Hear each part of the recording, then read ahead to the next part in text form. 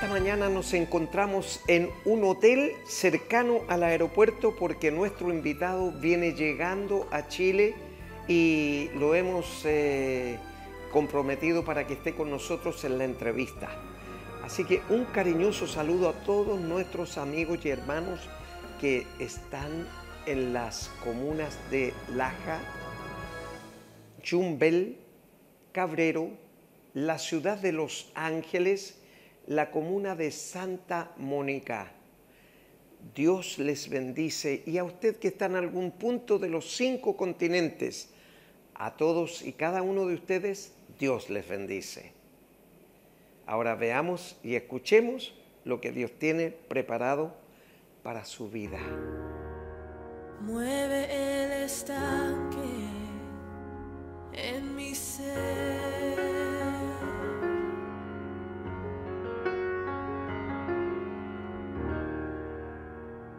Úneme a tu río, dame vida.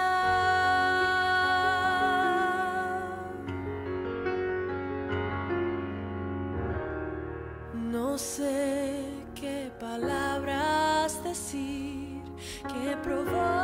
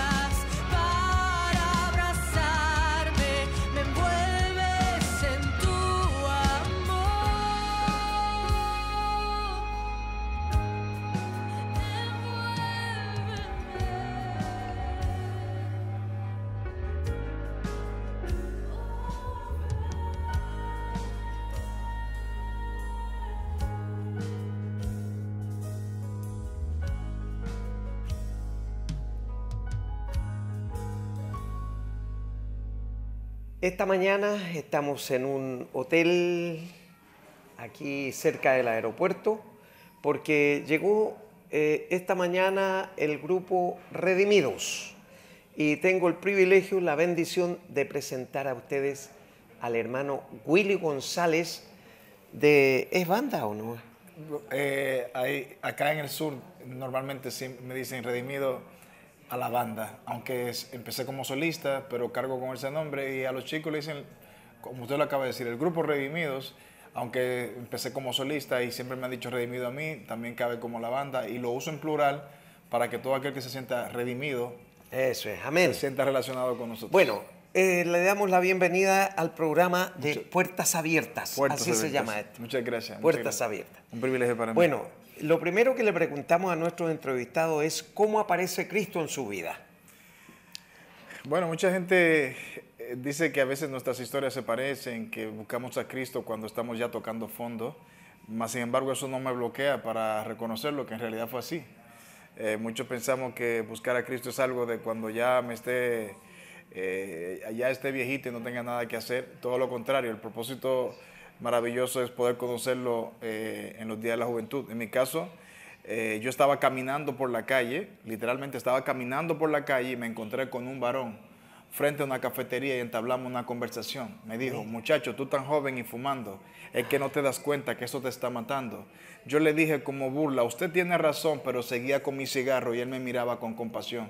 Me preguntó que cuántos años yo tenía y yo le dije 19 mientras que me reía. Me dijo, oye, ¿nunca te han hablado de Jesús? Y yo le dije, sí, panita, el que murió en la cruz. Él me dijo, búscalo, entrégale tu vida, que Él te ama. Y yo le dije, lo he pensado, pero la calle me llama. Me puso la mano en el hombro y me miró a los ojos. Y lo que me dijo me puso el cuerpo flojo, que yo estaba trabajado y cargado por el pecado, pero que Cristo dio su sangre para que descanse perdonado. Salí de ese lugar llorando y mirando al cielo, y el cigarro que yo tenía se me cayó en el suelo. Y mientras más lloraba, más libre me sentía. Al cielo yo clamaba y desde ese día ya no más arrebato, no más resaca, soy redimido y de aquí nadie me saca.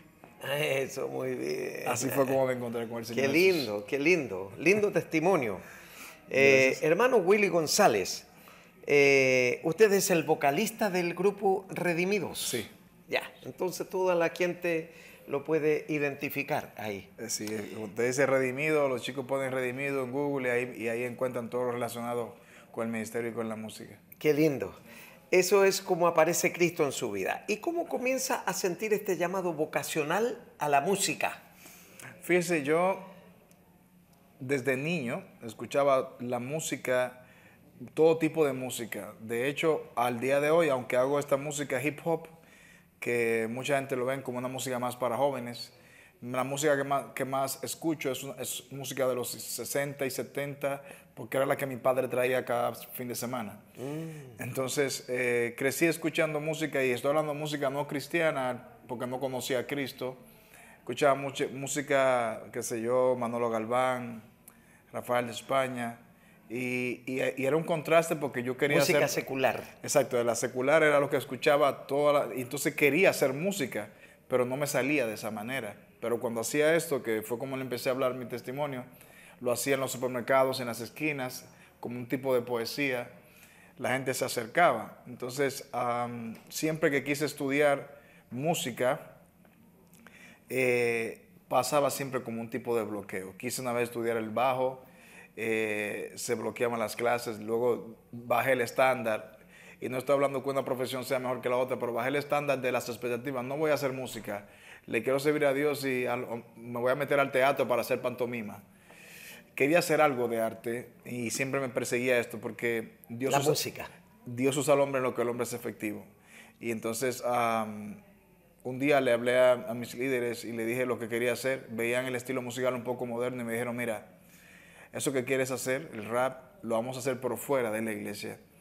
Y, el pro- y- y ellos se dieron cuenta que el problema no es lo que tú cantas, sino qué sucede cuando tú cantas. Y la primera vez que canté mi testimonio narrado así con un baterista, con pocos instrumentos, en un barrio al aire libre, la gente empezó a salir de sus casas. Y ahí se me acercaron al oído y me dijeron, aprovecha y haz un llamado, ahora que la gente está viniendo y, y se están escuchando.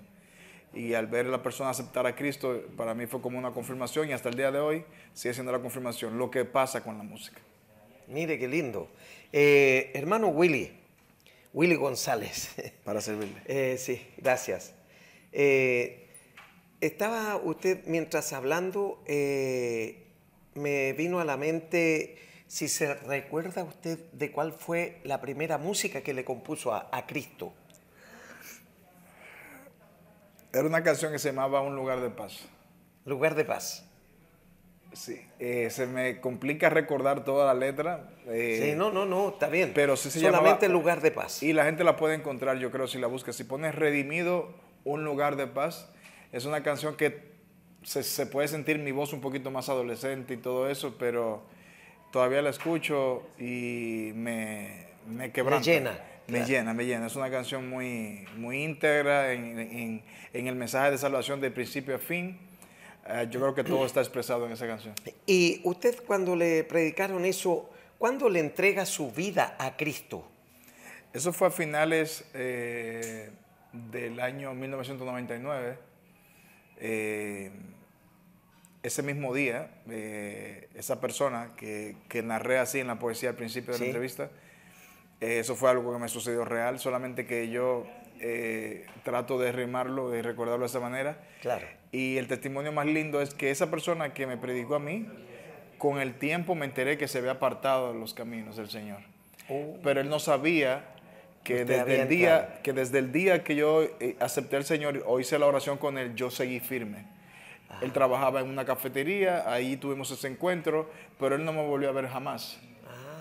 Él pensó que oró por alguien que a lo mejor, y luego yo lo vi en un canal de televisión, a él haciendo música secular, y mm, me interesé por buscarlo, porque él ni se imaginaba que, que este cantante, que ya era reconocido, redimido, era un chico que él se había ganado para Cristo. Y un día me lo encontré en un, en un sitio y, y- y cuando le empecé a hablar que era yo, y, le- y yo le recordé ese momento de esa cafetería, el chico empezó a llorar allí, me confesó que estaba apartado de los caminos, y ahí me abrazó, ahí, ahí yo oré por él y ahí recibió a Cristo conmigo. Ah, qué lindo, Fue un qué vice- lindo. O sea, fue un intercambio espiritual. Espiritual. Qué lindo. Eh, hermano Willy, vamos a invitar a nuestro público televidente a escuchar una canción, las enseñanzas de puntito, y luego seguimos en esta cálida entrevista.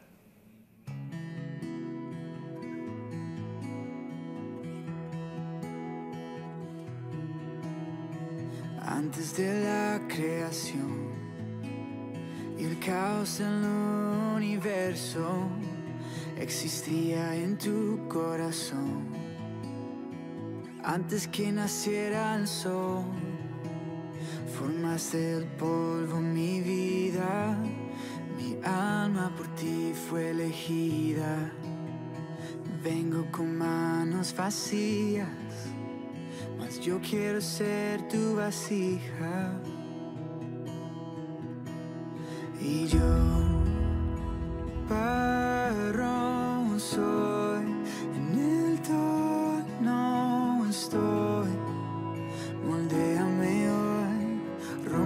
si es necesario. Y yo, tu vaso soy, una nueva creación. Soy obra de Dios en manos del alfarero. Mis pedazos juntaste de suelo cuando nadie más quiso hacerlo. Tomaste mi vida en tus manos, me restauraste, me hiciste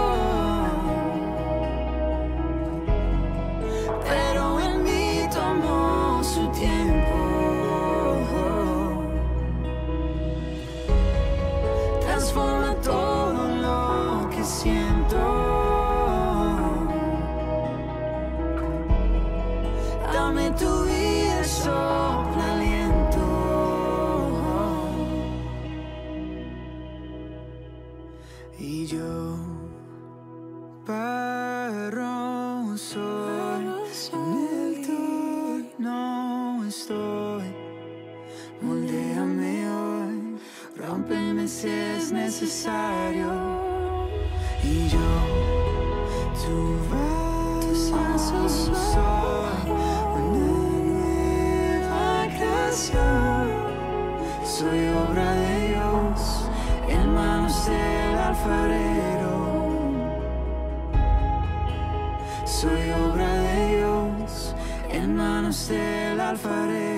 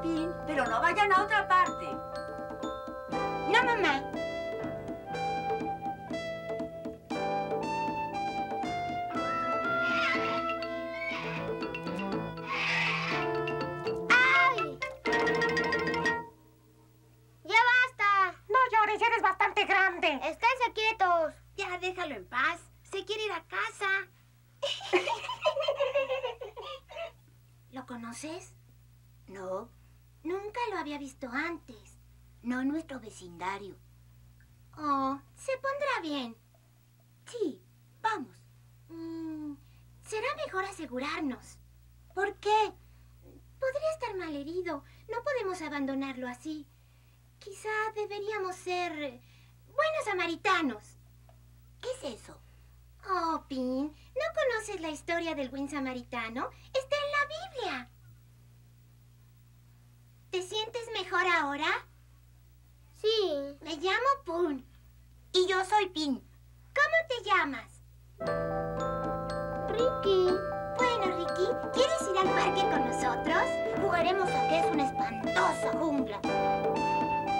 Seguro, tráela. Podemos atar un león. ¡Bravo! ¡Vamos! Y así fue como conocimos a Ricky. Tú y Pin fueron buenos samaritanos, Pun. Estoy muy contenta con ustedes. Ah, eso fue lo que dijiste. ¿Cuál es la historia del buen samaritano? Está en tus relatos de la Biblia, querido. Sobre la mesa.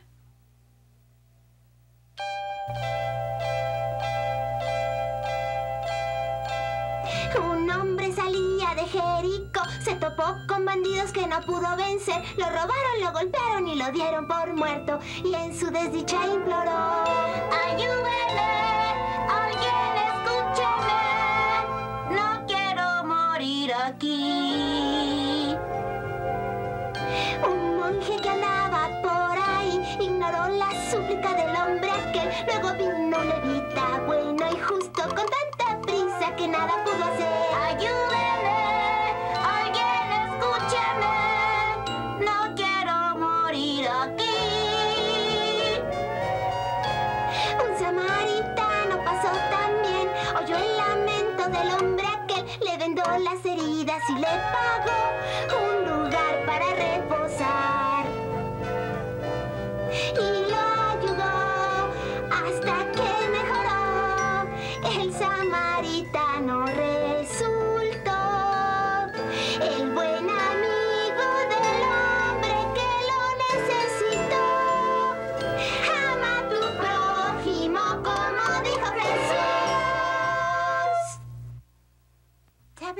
¿Sabes una cosa, Pun? Fuimos buenos samaritanos. Sí, Pin. Me parece que sí lo fuimos. ¿Qué es un buen samaritano, Pun? Bueno, Ricky, está en la Biblia. Este era un hombre que iba camino a Jericó y algunos bandidos lo asaltaron y lo golpearon. Y luego quedó todo malherido.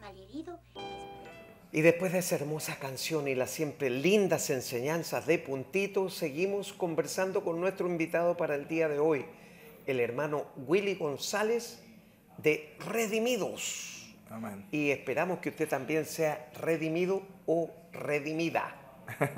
Amén. Amén. ¿Alguna intervención divina y milagrosa de Dios en su vida, hermano Willy? Claro que sí.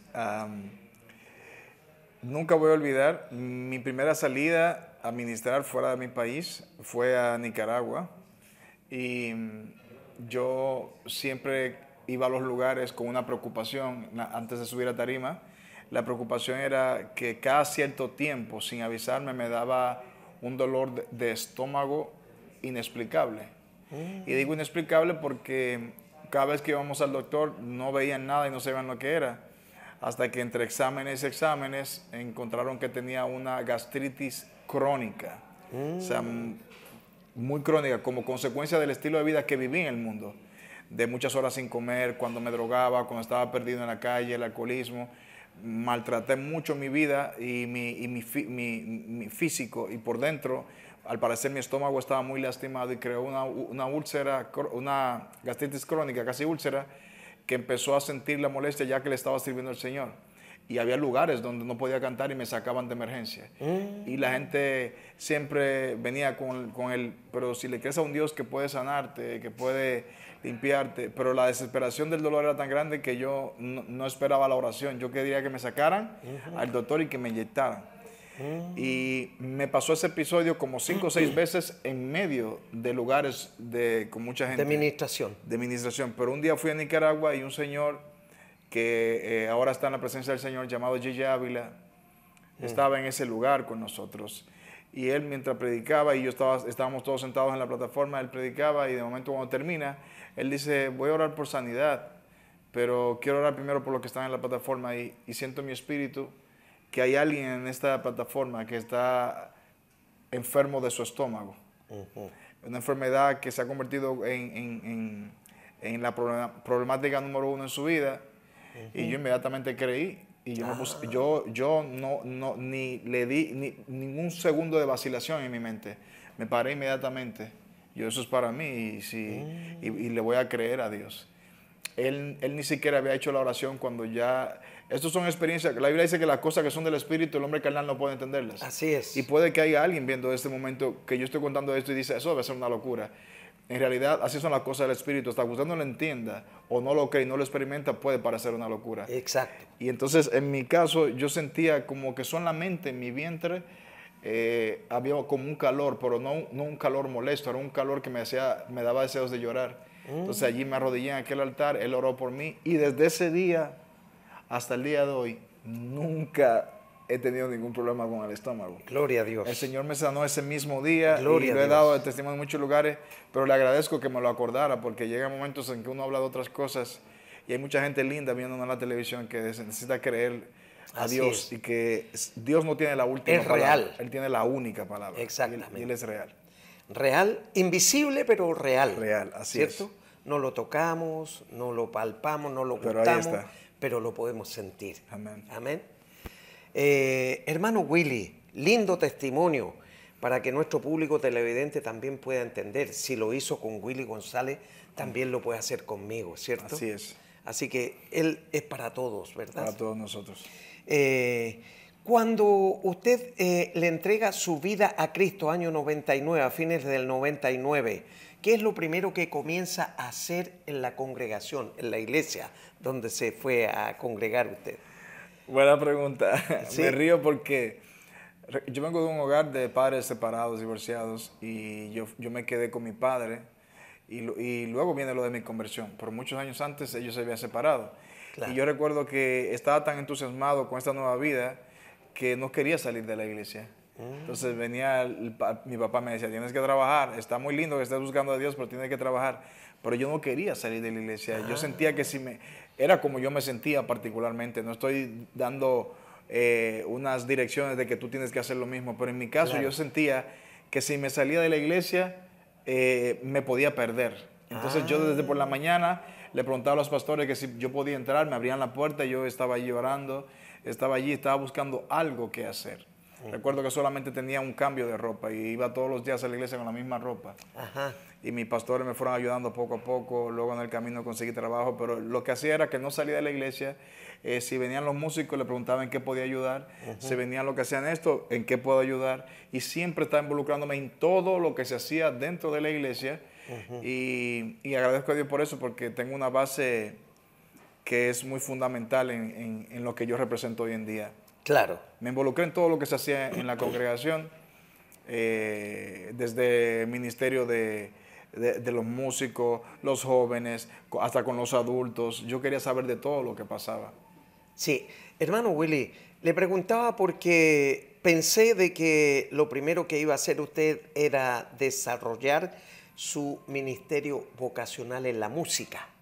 Entonces, porque usted seguramente tomó algún grupo de, de hermanos jóvenes en la congregación y salió a la calle a predicar con la música esto, porque la gente se siente atraída cuando escucha algo de música, ¿verdad? Sí, eso sucedió con el tiempo, pero al principio lo que empecé fue eso, a relacionarme con todos los ministerios y luego el día que yo vi, claro, yo nunca escondí lo que me apasionaba. Yo siempre le trataba de, de hablar del rap y era como que vamos a digerirlo poco a poco hasta que llegó ese momento de esa primera oportunidad, como casi al año de, de haber estado sirviendo al Señor.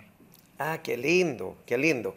Pero alguna experiencia que le haya ocurrido en la calle eh, alabando al Señor con un grupo de gente, ¿se haya convertido alguien?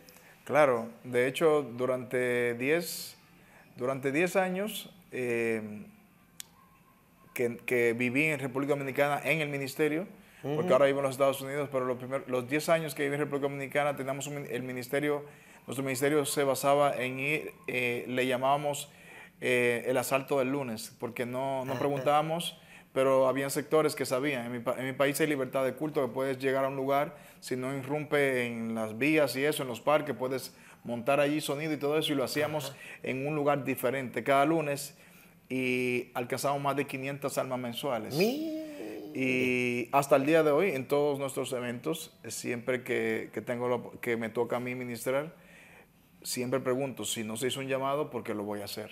Claro, amén. Hasta el día de hoy esa es la, la base fundamental de nuestro ministerio y nuestras canciones por eso siempre van enfocadas en, en cuanto a la salvación y ahora le añadimos un poco de restauración y, y que los jóvenes sientan seguridad en estos caminos.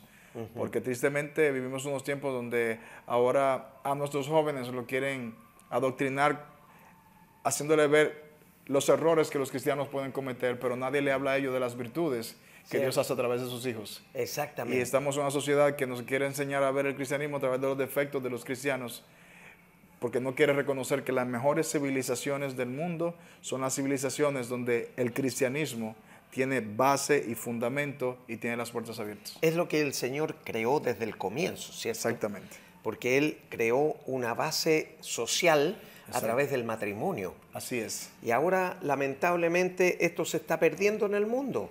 Así ya es. no se quiere casar, eh, los jóvenes quieren convivir nomás, entonces una eh, relación pegada con saliva, digo yo, porque se- muy fácilmente se puede despegar, ¿no? Así es. Nada que Eh, añadir, nada que añadir. Claro, nada. Entonces, usted fue a Costa Rica en su primer viaje, iba con ese temor, y después llegó a Nicaragua, donde el Señor usó a este instrumento para sanarlo. Exactamente, es Gigi Ávila y, y definitivamente eh, mi respeto para él, porque no solamente la experiencia de verlo en la tarima, de ver a la gente hablando, sino que hubo algo que me marcó aún más fuerte. Y es que cuando nos retiramos del lugar, yo tuve el, el honor de viajar en el mismo vehículo que él. Y sabe que en las campañas, en las cruzadas, hay equipo de personas que apuntan los nombres de quien acepta a Cristo y todo eso. A pesar de que él tenía toda esa gente, una hermanita le tocó el, el cristal del vehículo y él muy humilde bajó el cristal y la hermana le pasó un papelito en la mano y él le dice, ¿qué es esto? dice, es que yo tuve la oportunidad de apuntar algunos nombres de los que se convirtieron. Y entre esos Y- y- estaba Willy González. No, ya yo, ya yo le servía al Señor, pero estaba en el vehículo con Gigi Ávila y al ver esto, que él toma los papelitos, que podía dárselo a su equipo para que ore, él se lo guardó en su camisa. Y al otro día, cuando íbamos a almorzar en la casa de un gobernador de esa ciudad, lo estaban buscando para comer y fui yo con otro chico a ver, a tocarle la puerta a su cuarto y él estaba arrodillado orando por los nombres que tenía. Qué lindo. Eso se llama pasión por los celos. Bueno, en este programa tuvimos al nieto de él, Wow. a Sánchez Ávila. Oh, tremendo. El nieto, el nieto de, de Gigi Ávila. Y me regaló el librito que dice Unidos por la misma sangre. Wow, qué lindo. Lindo, lindo, muy lindo. Hermano Willy González, el tiempo nos alcanzó, pero le damos gracias por su eh, amor, su disponibilidad de compartir el testimonio de lo que Dios ha hecho con su vida con nuestro público televidente, que son millones de personas que están ahí detrás. Y, y llegamos a los cinco continentes Wow, vía lindo. satélite. Muchas Así gracias. que ahora van a tener la oportunidad de conocerlo en vivo y en directo. Por puertas abiertas. Por puertas abiertas, exactamente. Así que muchas mí. gracias. Gracias por la oportunidad. Dios siga bendiciendo su ministerio, su vida personal, Amén. hermano Willy. Amén. Bueno, vamos a escuchar una nueva canción y luego la reflexión de la palabra.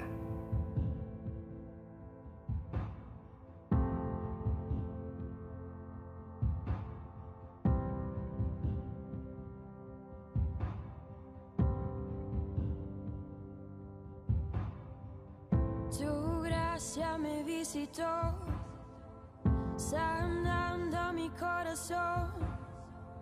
Mi casa se iluminó de tu luz. Hablaste a mi corazón, tu voz me dio dirección. Camino al amparo de tu luz. En la tempestad estaré seguro. Tú me sostendrás con tu brazo fuerte. Tú, mi buen pastor, guiarás mis pasos, cuidarás de mí. En la tempestad estaré seguro. Tú me sostendrás con tu brazo fuerte. Tú, mi buen pastor, guiarás mis pasos, cuidarás de mí.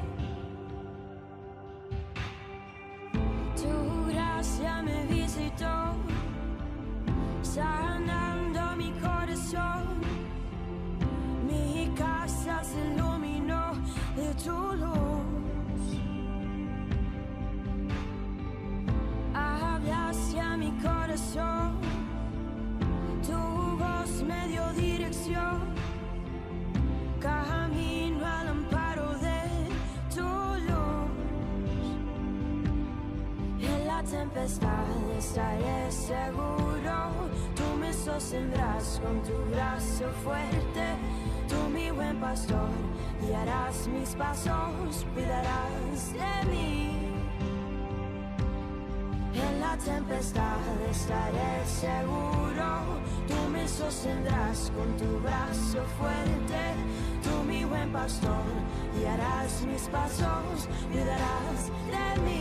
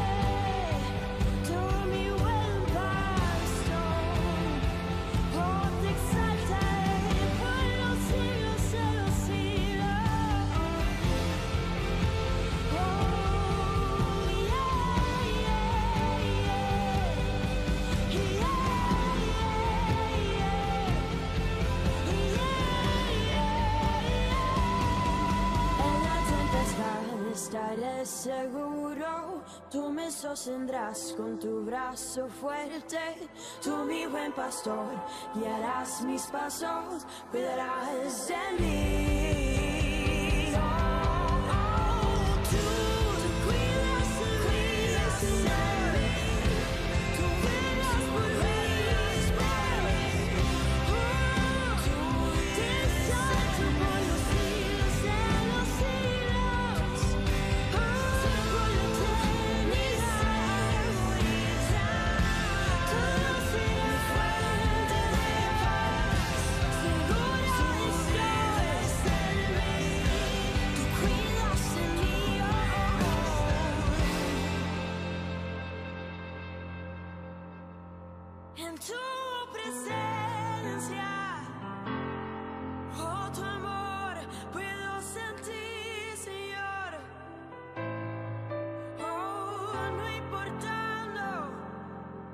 La situación en la que te encuentres, el Señor será presente.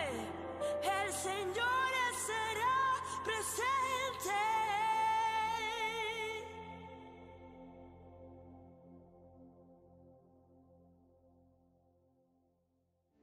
Peregrinaje extraordinario.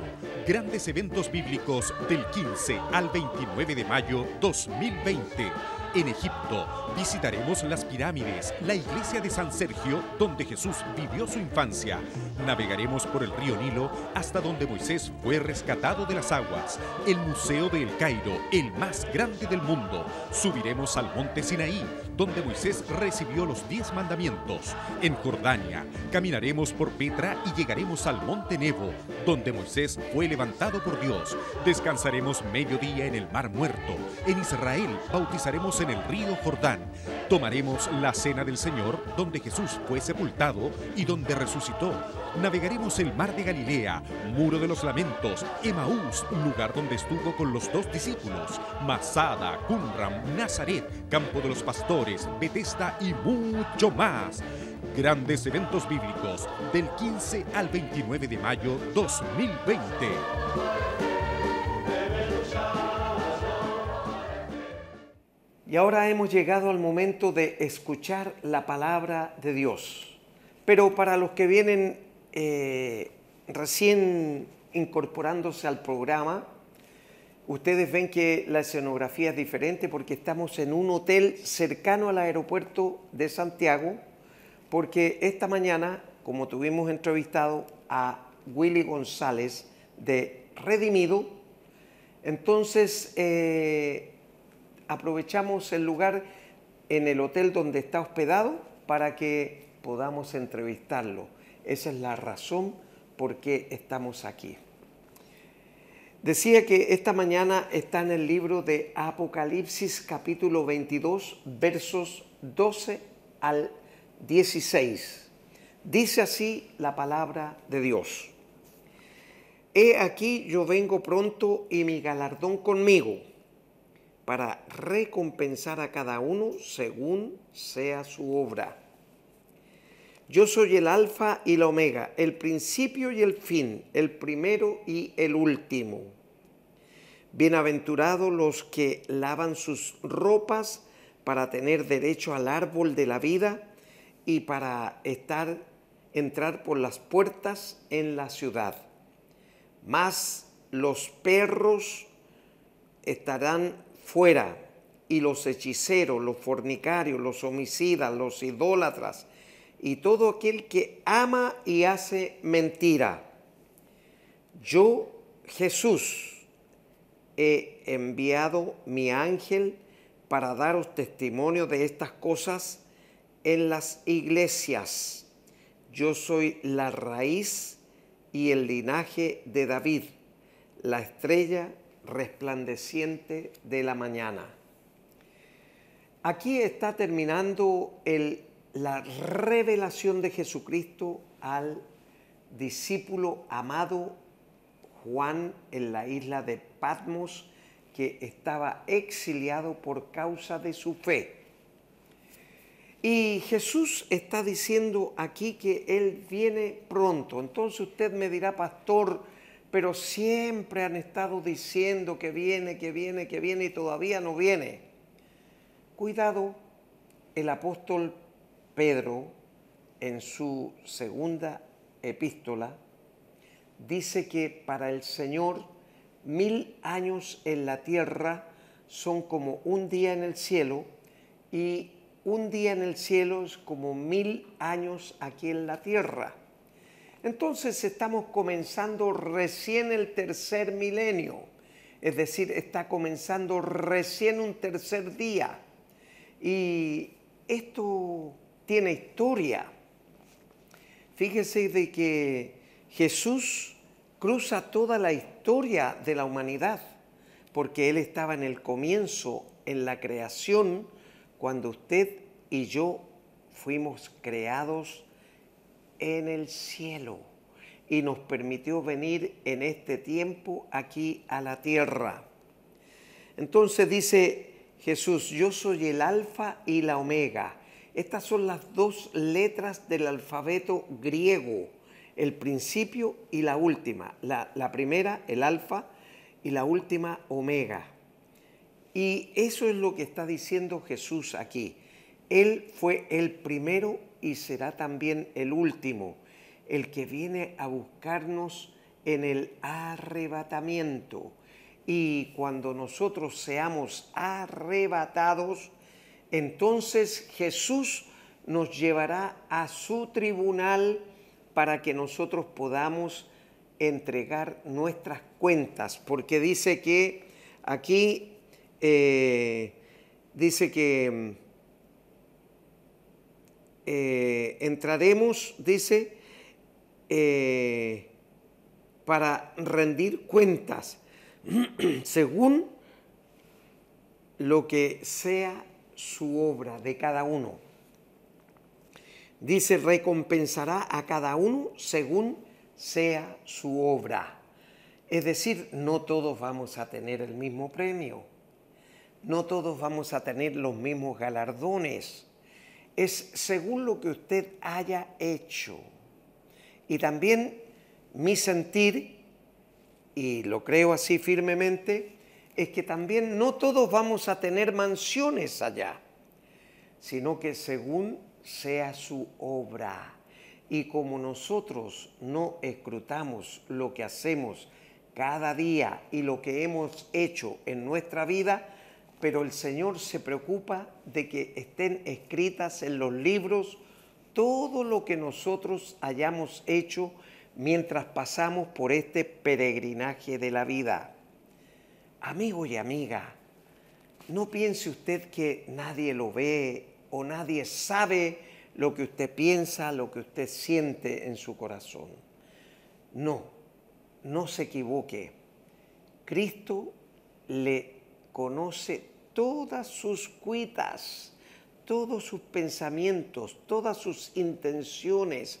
No se equivoque y esas están siendo escritas porque en otro pasaje de la palabra dice que si su ojo le es ocasión de caer, sáquelo y es preferible que entre tuerto a el reino de los cielos y no que todo su cuerpo se pierda. Ahora, no tenemos que entenderlo literalmente esa expresión de Jesús, porque él habló muchas veces con parábolas, con metáforas, con alegorías, para que la gente pudiera entender. Entonces, cuando dice que si el ojo es ocasión de caer, es porque usted miró con una intención distinta y no sana. Por ejemplo, eh, la codicia la avaricia, son eh, situaciones que usted a lo mejor no las expresa, pero las siente, las vive. Y de eso el Señor toma nota y toma cuenta. Y de eso dice, por eso dice que cada uno recibirá un galardón según sea su obra.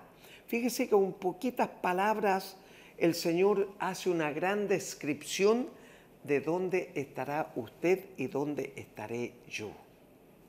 Entonces, eh, dice, yo Jesús dice, he enviado mi ángel para daros testimonio de estas cosas en las iglesias.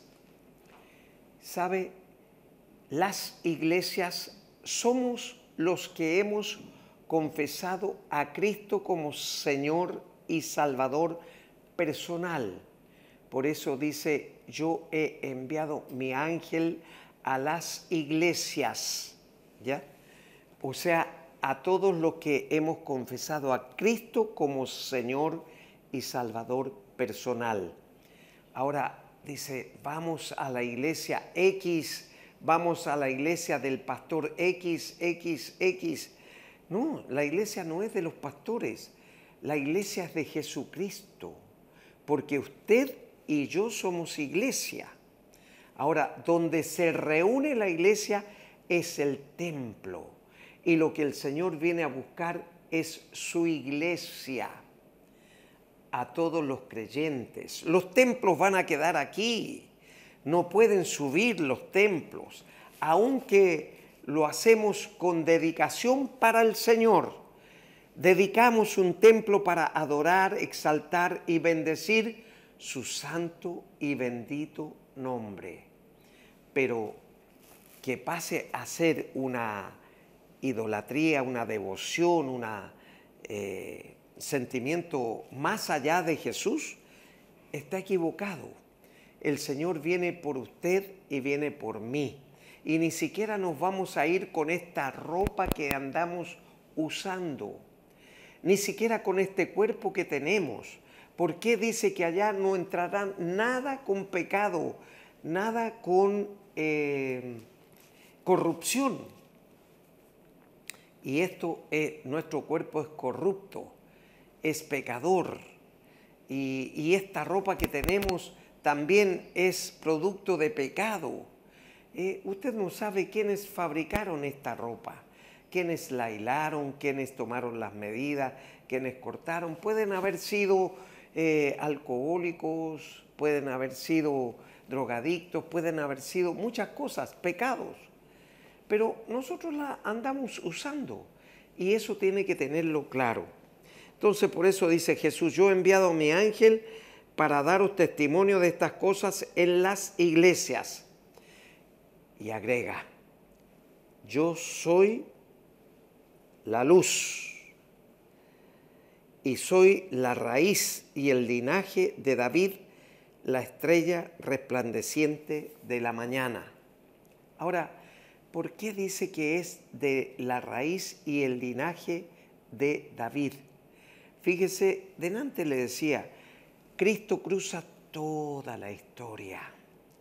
Sabe, por dos mil años pasaron 46 personas desde Abraham hasta David para que ellos fueran el testimonio de lo que Cristo es.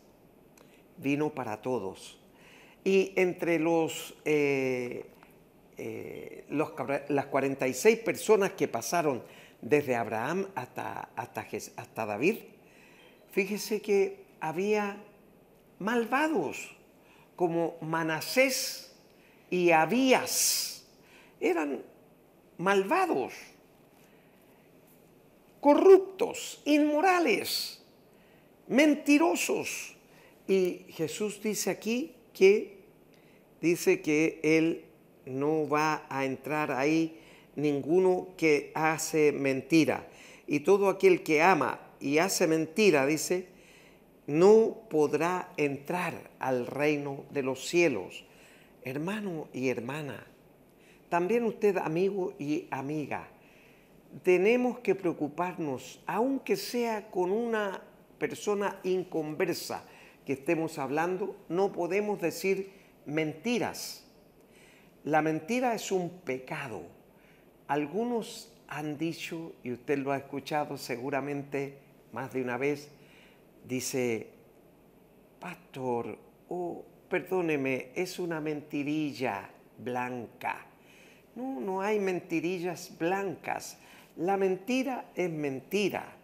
Y si usted quiere zafarse de una situación difícil con una mentira, Dios no le va a respaldar. Él respalda la verdad. Vuestro sí sea sí y vuestro no sea no.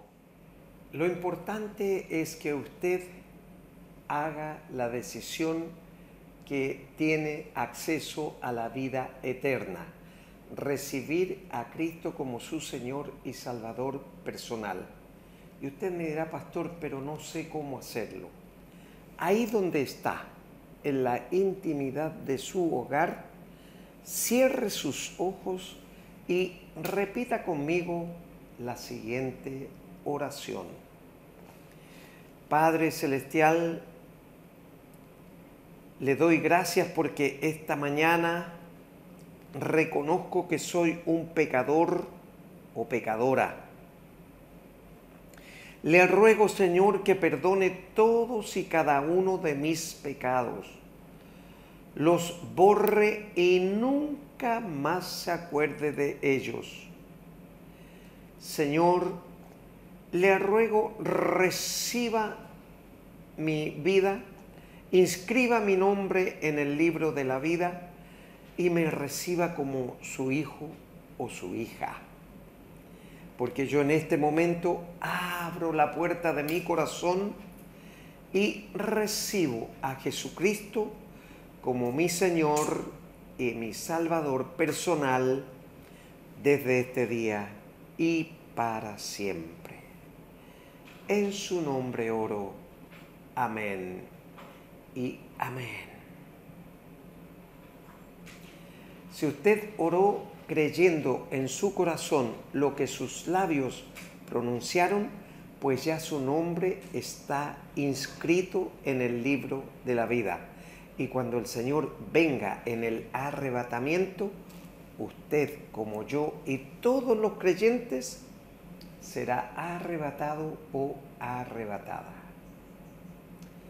Si Dios nos permite, nos volveremos a ver aquí en Televisión Nacional de Chile el próximo sábado a esta misma hora. Mientras tanto, Dios le bendice.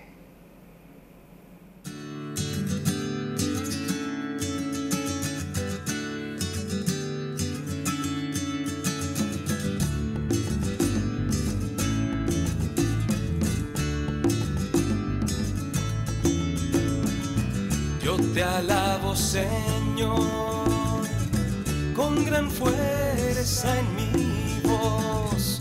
Alma mía, bendice, bendice al Señor. Alma mía, bendice, bendice al Señor. Gracias por mi mujer, por mis hijas también.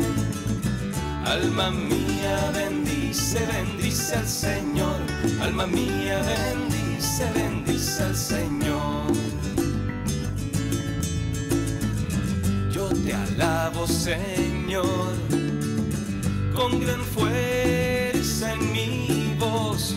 Yo me humillo a tu nombre, te canto, te bailo, bendito Señor.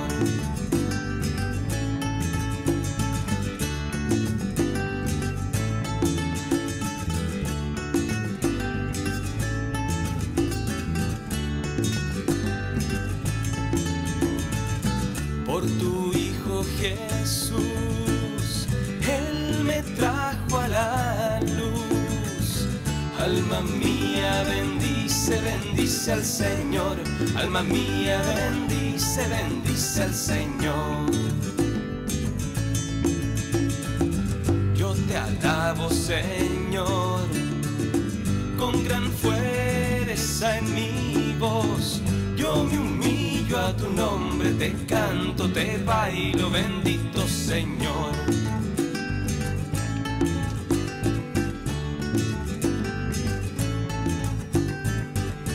Tu espíritu en mí, Él me enseña a vivir. Alma mía, bendice, bendice al Señor. Alma mía, bendice, bendice al Señor. Yo te alabo, Señor, con gran fuerza en mi voz. Yo me humillo a tu nombre, te canto, te bailo, bendito Señor. Y te canto y te bailo, bendito Señor. Yo te canto y te bailo, bendito Señor.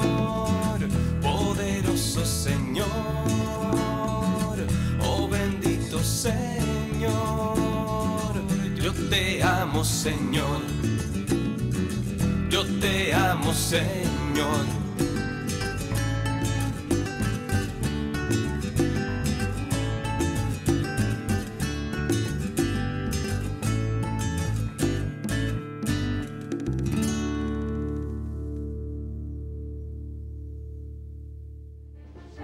Extraordinario. Grandes eventos bíblicos del 15 al 29 de mayo 2020 En Egipto visitaremos las pirámides, la iglesia de San Sergio, donde Jesús vivió su infancia.